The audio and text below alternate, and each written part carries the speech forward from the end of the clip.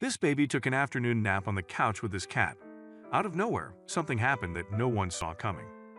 All of a sudden, their whole lives were turned upside down.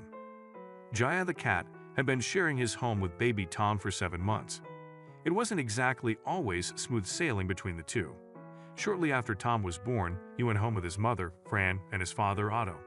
Since then, Jaya had been annoyed that he was no longer the center of attention. Unfortunately, Jaya was slowly left out, as his parents were always with baby Tom. Every Monday and Tuesday, Fran was home alone with the pair. When she had an online meeting at the beginning of the afternoon for her work, Tom and Jaya often stayed together in the living room. That's when something strange happened all of a sudden. Jaya and Tom spent the whole afternoon together. Slowly but surely, Jaya realized that Tom was quite fun to play with. As Tom was just a few months older, they started to like the same games. The two brothers suddenly became attached to each other. They played with each other in the garden all day long, and Tom loved petting Jaya. They became the best of friends and brothers in no time. They were completely inseparable. Unfortunately, that didn't last long. One Monday afternoon, when the two brothers were sitting on the couch, something terrible happened. Tom was taking his afternoon nap on the couch. He'd been playing in the garden with Jaya all morning. Tom was just able to crawl a bit and loved to crawl behind Jaya. That was the game of the last few weeks. This was extremely tiring for Tom.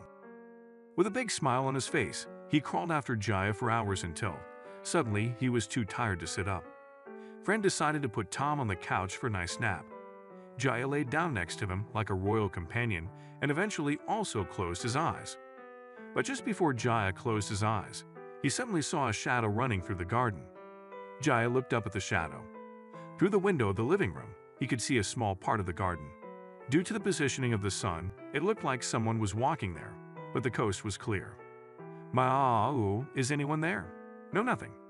Guess I'll lie back down next to Tom for another half hour of snoring. Half an hour passed, and the two were sleeping incredibly cutely on the couch. Fran would come and watch every now and then, and then go back to her desk with piles of work to still get through. The two slept for a few more hours, or so she thought. Suddenly, Jaya woke up in a strange room. Where am I? He thought. Jaya was suddenly in a small bumpy room with a fence at the front. Moving was almost impossible. He remembered being in something like this when he was very small and had to go to the vet. The room just hobbled back and forth. Through the fence, he saw the road. This looked familiar. This was his street. Suddenly, the room started to hobble harder and faster, and they kept speeding up. They suddenly stopped at a car. The trunk of the car opened, and the room that Jaya was in was now placed in the trunk. Everything went so fast, leaving little Jaya blindsided. When the trunk door closed, everything suddenly turned black. About an hour later, Tom woke up extremely hungry. His rattling stomach caused him irritation and he started screaming. Fran heard this and walked to the living room. She immediately noticed that Tom was alone on the couch. She walked up to Tom and picked him up.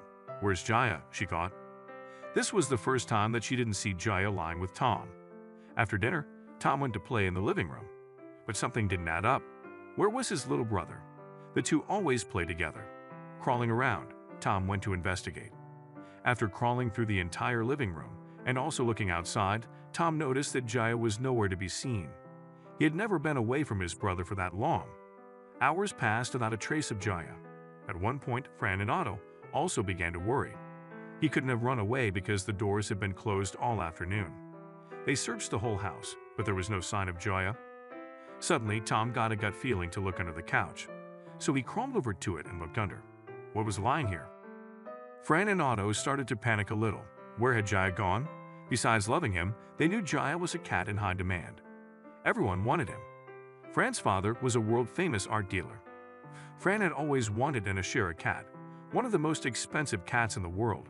So when she heard a soft noise come from her father's birthday gift to her, she knew immediately what she was getting. An Ashera cat can be worth a lot if you sell it well. But Fran didn't care about that. Jaya was part of their family. Suddenly, little Tom came crawling over to Fran and Otto in the front garden. He had something in his hand.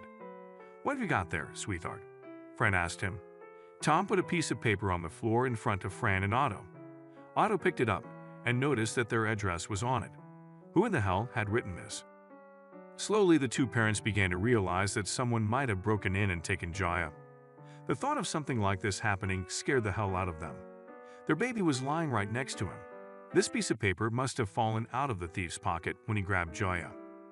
All of a sudden, little Tom started screaming and raising his hand. It looked like he wanted the piece of paper back.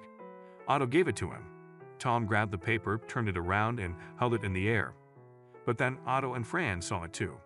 No way, they said. When the sun shone on the note, a transparent watermark became visible. It was the logo of a shop in town.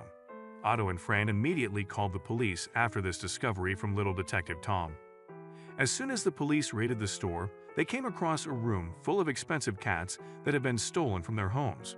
And yes, here laid also their Jaya. The moment Jaya and Tom were reunited, they dove into each other's arms. Jaya knew he could tell his little brother about the note on the floor telepathically. That was his only hope. Fran and Otto were also super proud of their little detective. The family was finally complete again, and the cat thieves were arrested, all thanks to their handsome little boy.